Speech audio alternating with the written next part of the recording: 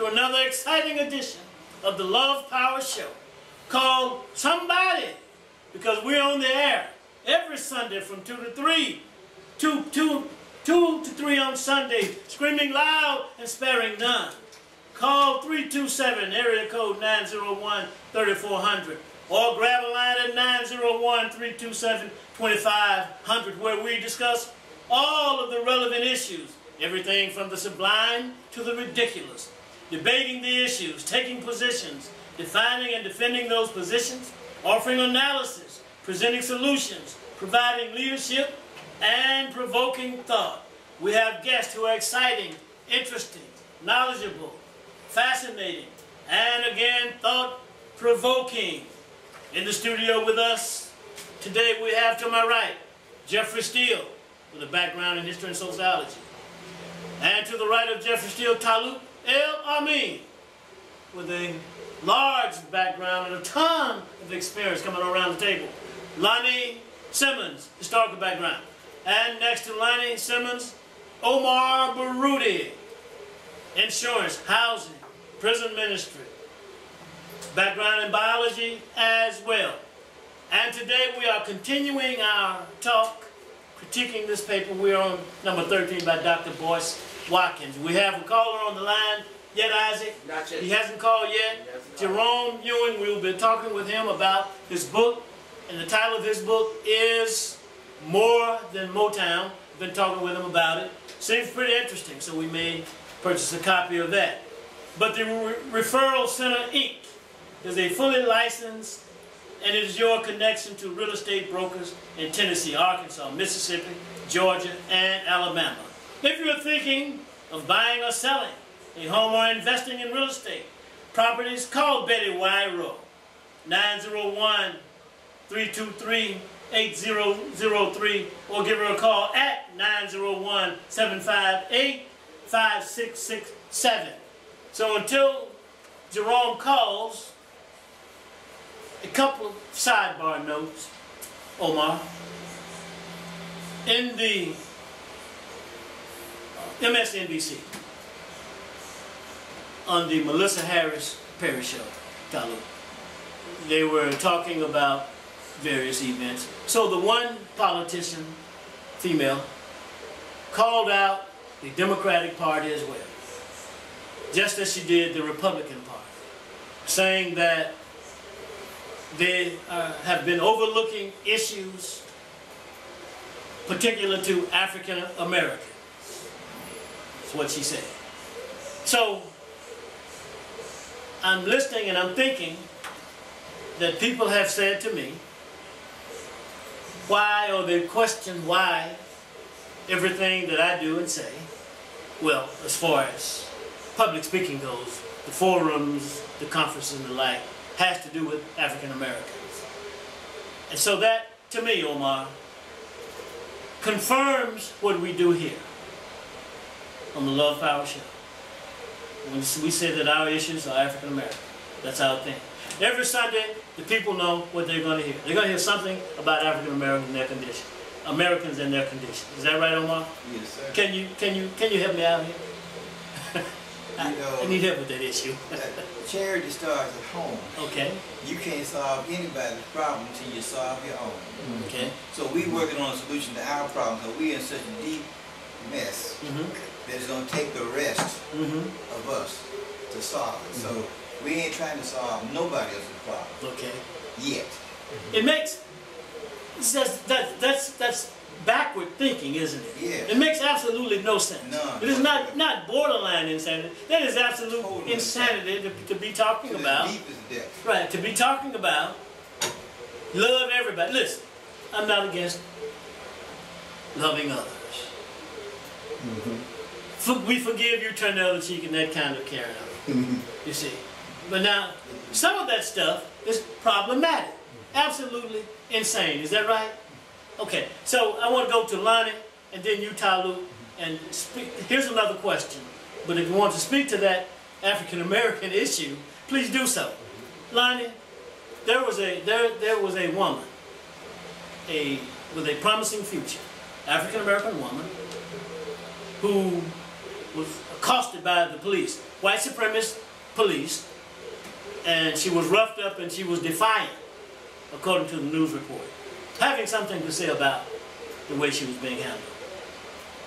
And she was locked up, incarcerated, and found dead in her cell. So let me ask you, does it seem like a person with, with this kind of potential would hang herself in a jail, a jail cell?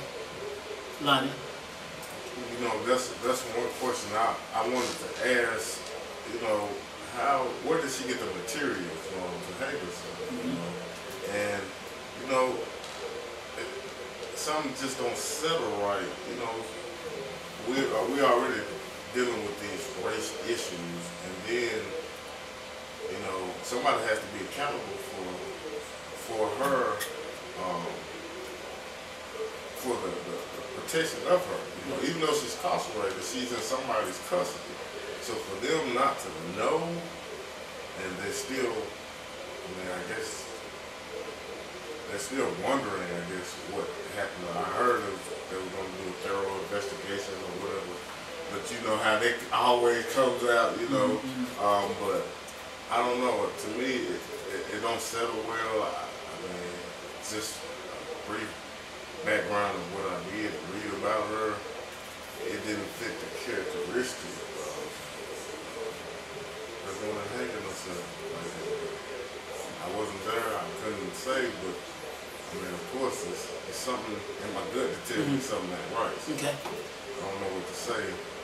Um, but back to the, the question about us um, always speaking on our issues, you know, Okay, let me ask you this. When, when you say we and us, you're specifically talking about African Americans. specifically. And I, and I think that's important in the wake of all of this love for everybody and we forgive you and turn the other cheek. In the wake of all of that and the wake of all of these generalities, Right. these problematic words and phrases, I think it's, it's important that we are specific, specific about our presentation. But continue. So let me clarify. Yes, please. Thank you.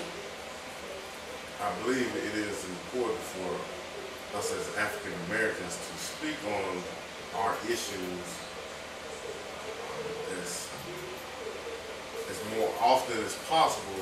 Um, and I'm glad we do it every Sunday. I mean, that's the time that we're able to come collectively. But that should be our main focus as we have issues that um, we have to solve ourselves. We can't we can't sit here and we analyze our history and we see the patterns, and then we expect uh, the enemies, whether they be European or any other nation that has done something to us and done something to the African uh, American community in the past, and has not, um, and, and we have not received uh, reciprocity from that. So we cannot expect them to seriously talk about our issues and then do something for us. Uh, then that means that that's almost giving them the power, saying that we don't have power. Period. So, I mean, I'm, I just I appreciate having the opportunity to come with brothers that seem like they're genuine uh, about the issues, and you know, we're really trying to come up with solutions together on in not only in our personal lives but for the whole community, our African American community. So, Okay. All right. Talut, Yeah. he he said, he said something about the investigation process. Mm-hmm. So it is the police who are talking about doing a thorough investigation. So is that like, I've got a couple questions for you. Is that like calling on the Fox to investigate a crime at the hen house? Absolutely. Okay, You know, I, I, I'd like to say this in prelude to answer the question. yes. Um, Chinese are normal. Mhm. Africans are normal. Mhm. Indians are normal. Caucasians are normal. Black Americans are not. Okay. We are not normal. Something is missing in us that caused all these other people to be normal and for us to be abnormal. We don't respond properly to things as a people would ordinarily. We turn to people who, Bobby, let me back up. What black Americans normally do is use Caucasian Americans as the criteria for all judgments, opinions, and views and ideas. All of them. Okay? We form no views, opinions, and ideas of our own. We have to respond. We, we have to, to use them as a means of judgment. Frederick Douglass warned us about that over a hundred some years ago. He said, do not judge us by the standard of the white man. Judge us from which we come. Mm-hmm. You know, Look at where we've come from and set the criteria. But don't put the Europeans or the Caucasian next to us and say, oh, you're not living up to the white man and what they're doing. That's where the abnormalcy comes in. Mm-hmm. Now to answer your question about Yes. about the, the investigative system and all that stuff, you know, a- a colonized people have nothing else to go on. We're colonized, okay? We're colonized by the United States government. All of us think alike. All of us act alike across the United States of America. All of us have the same education. All of us have the same type of label. It's jobs and that type of thing. So the thing about it is we believe in the government. We believe in not, let me back up, not government. We believe in the agents of government. Mm-hmm. The white man. We believe that the white man is going to do right. Why wouldn't we believe that? We believe that because there's a white man on most of our walls. We call him Jesus. And if you question us about that that that that image, that European image, the blonde hair, long blonde hair black hair or, or the pale skin and the thin lip, if, if we question that, most of us get angry. Mm-hmm. So it doesn't make any difference what color he is. Mm-hmm. You know, he's on my wall and that's Jesus and that's God. Mm-hmm. Okay? So why wouldn't we believe that the white man is innocent? Okay. Sounds like, One. here's what it He's sounds innocent. like. A great, a great extensive degree of indoctrination, and we're gonna get to that on number 12 when we go back to Dr. Sure. Boyce's Watkins paper and continue to critique it. Jeffrey, Lonnie said, how important, he said something about historical patterns. I, I thought that was, that was great. I thought that, that was a, a great observation. And historical patterns, Talut just got through speaking, and what's, what I'm hear, hearing coming out is inaccuracy, lack of self-confidence, lack of the ability to depend on oneself and one's own confidence and capacity to do for oneself. So, can you speak to historical, how important it is in terms of historical patterns and one's capacity to handle one's own business in general terms for African Americans? Well, that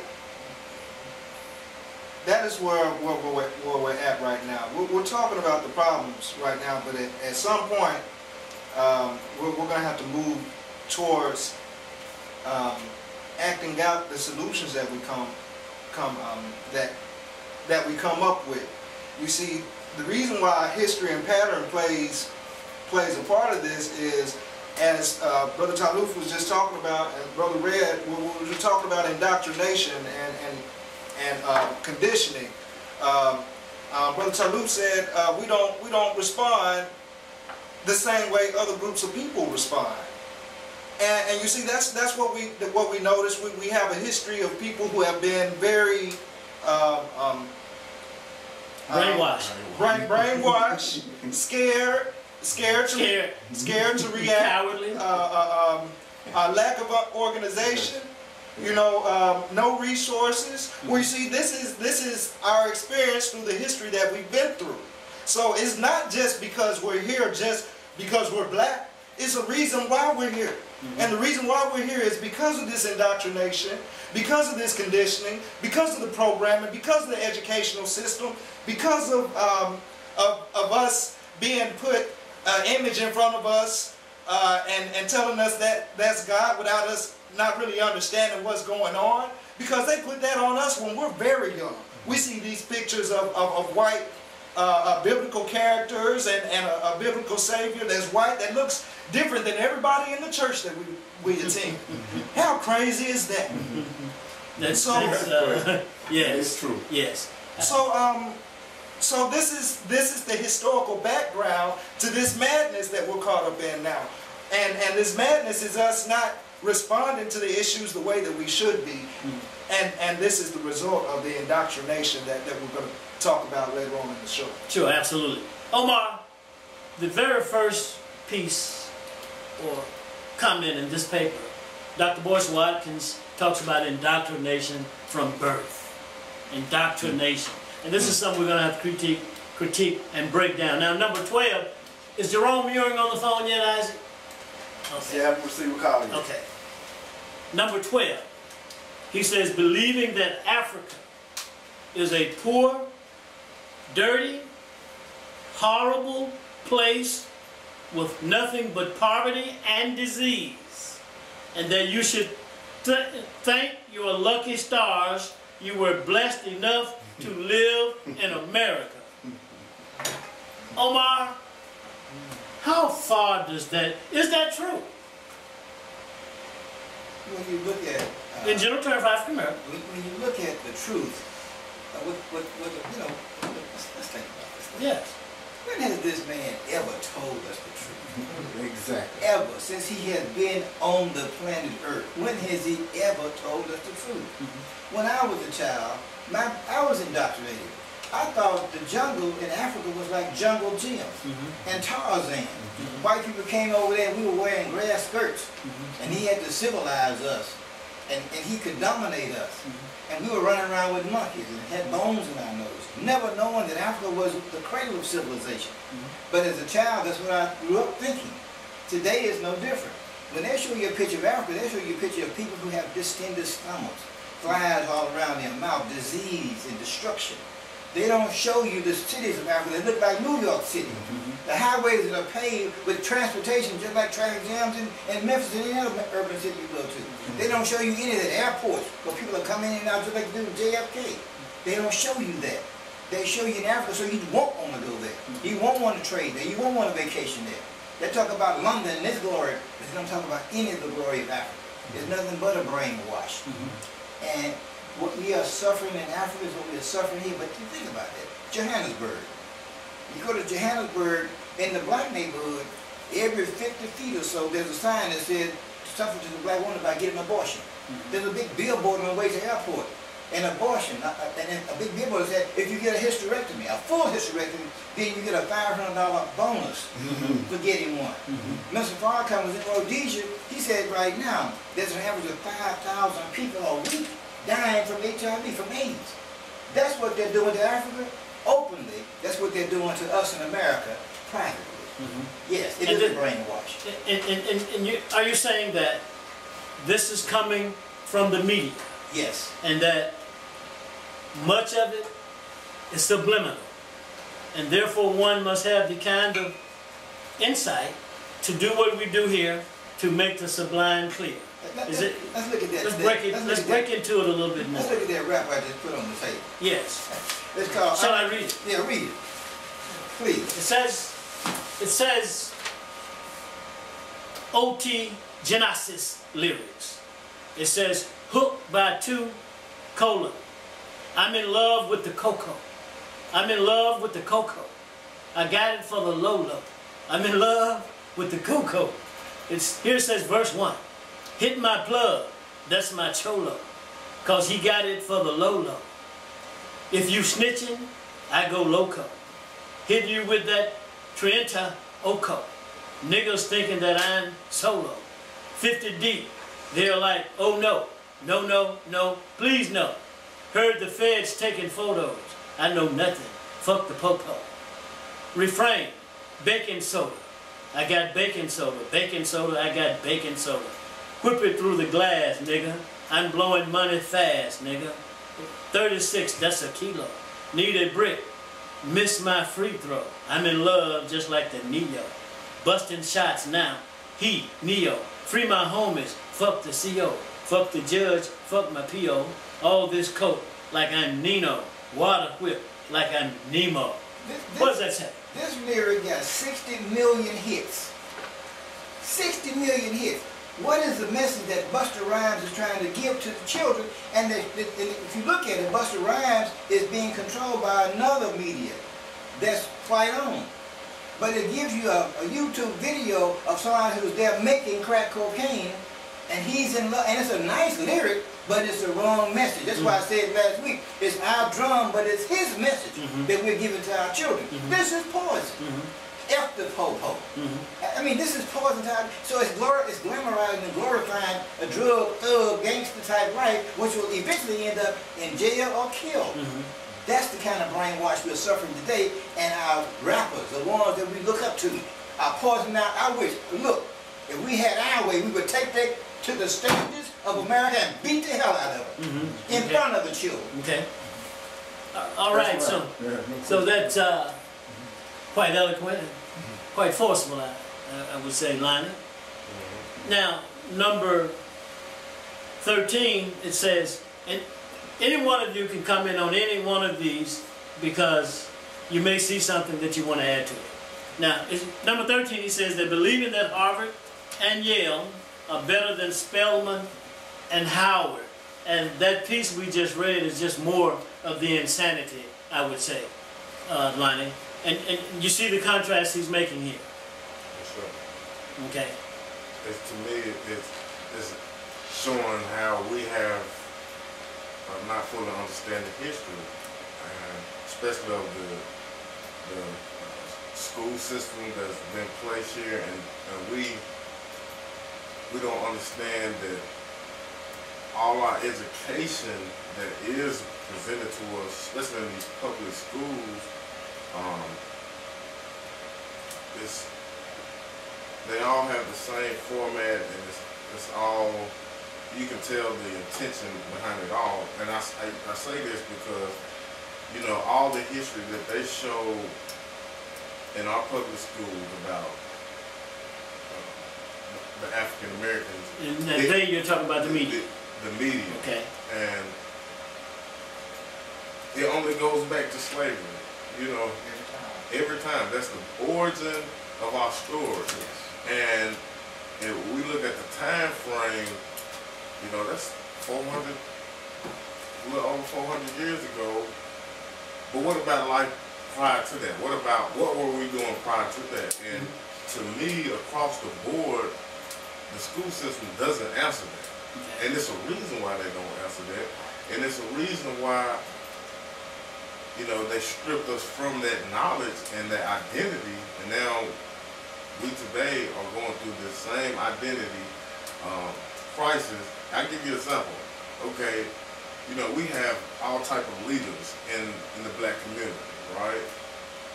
And the issue that I believe our young people are seeing, that me and Brother Jeffrey was talking about this this morning, is, you know, it's, it's just like the, it's just like you have a, a, mother and father in a household full of uh, multiple children Mhm. and the children are always fighting and bickering amongst each other. And that's because the leaders of the house are fighting and bickering in front of the children.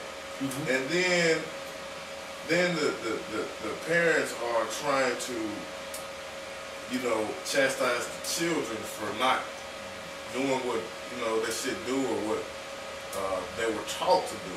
But their examples of doing that is not there.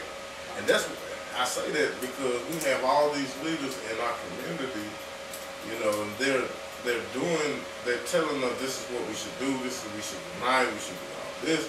But we don't see them uniting. You know, we, we see them uh, bickering over petty issues that causes someone that's not, you know, close in that circle, we'll look at it and say, oh, they're doing that, well, we ain't no need of us, you know, joining that. So, so, but all of that to say, you know, the, our educational and all all of that has strategically been placed there for us to um, not have a, a certain knowledge about ourselves that would change everything. You know, change our whole. Because you know it starts with the mind first, right? So if I can change, if I could change that brainwashing, we're talking about brainwashing. If I could somehow get a message to a young brother and flip that brainwashing switch, then his eyes will start opening and seeing, you know, it might not be in a day, but over a course of time, he will start seeing things, start waking up, he will start trying to reach out to other brothers, right? Um, but it's so much propaganda, like I said, through the media, through the textbooks that they uh, throw out on us in the classroom, that until we have genuine leaders, and, I, I have to take my hat off to, to Farrakhan right now because Okay. I, I heard the message and I see it. Um, until we have those leaders right there, you know, that's willing to die or whatever for that, you know, we're not gonna, s- we, the leaders that the African people that we need, we're not gonna be able to reach that goal that we, we are attaining to. If we don't have those leaders willing to die and people that's willing to stand and fight with them. Okay. All right. Talut, he said quite a few, quite a few things there. Uh, in the course of Yes. Excuse me. his, his, his presentation there, even brought up family, husband and wife, and leadership, and the like, and talking about the bickering and the fighting, and those kinds of carrying on, and the children looking at that. Mm-hmm. That is problematic as well, and we see some of this stuff played out in our communities as well. And let me, and let me add one more question um, to, to you, Talut. He says that not realizing that both Spelman and Howard were founded by white people. Mm-hmm. Now that's saying a lot. That's saying something about some other things too that we know about. Mm-hmm. So, Talut, tackle those two questions for us, if you will. Yeah, yes. Um, the, the thing about um, colonizing people, okay, programming, in other words, programming people to believe that everything that the superior people are about is correct. No question for any disagreement. Absolutely correct. The right thing to do is do as you're told and follow the program. And that's what 99.9% of black Americans do. Okay, we we we have bought a bill of goods in this United States of America, as you mentioned last week.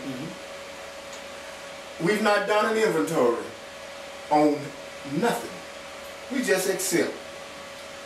And this the, the American uh, uh, uh, social system is about capitalism.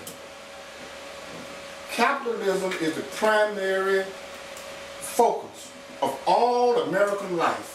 All of it. The capitalists want you to forget about your moral responsibility. Forget about right and wrong. Okay? Forget about your people. Forget about all of that. Get you some money. That's what the capitalists say. Go get you a high degree of education and join our corporation. Forget about these people. Get you a big car. Get you a big house. Get you some clothes And go in debt.